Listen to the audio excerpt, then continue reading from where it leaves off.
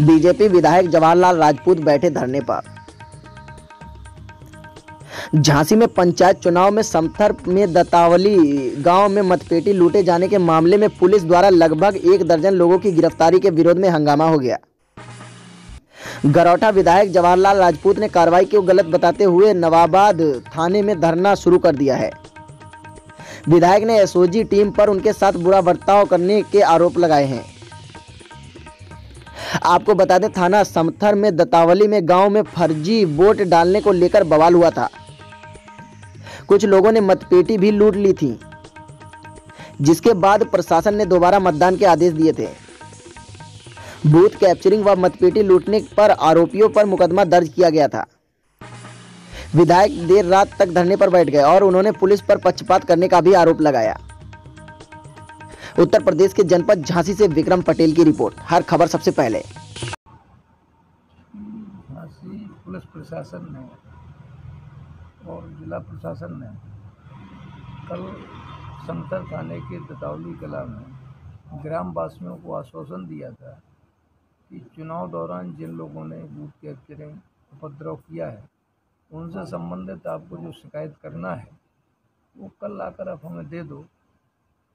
तो कुछ ग्रामीण जन, खास तौर से उसमें प्रधान पद के प्रत्याशी थे, पति थे मैंने तो वो कचहरी आए हुए थे, हम भी वहाँ बैठे थे। और इस बीच में अपने जिलाधिकारी और एसएसपी से बात हुई कि वही कल के संबंध में लोग मिलना चाह रहे हैं और वो अपना प्रार्थना पत्र देना चाहते उन्हें न्याय चाहिए। तो एसएसपी ने तो भी साढ़े सात का टाइम दिया था।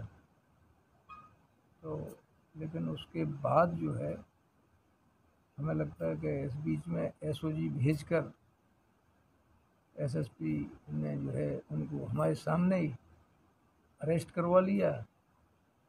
और क्योंकि हमने रोका भी तो हमसे भी उसमें कुछ पुलिस बोले इन्हें भी पकड़ो। तो ये तो बिल्कुल एक विधायक की अवमानना का प्रश्न है।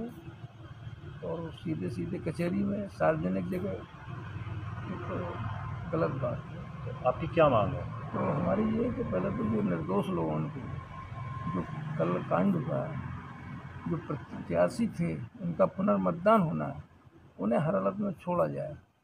जब बेचना हो जाए तो उन्हें जो भी हो उसमें दोषी उनके खिलाफ कार्रवाई की जाए। तो धरना और जिन लोगों ने जो कल अभद्रता अपने साथ की है या जो लोग हमारे साथ बैठे थे, उन लोगों को भी साथ में ले गए।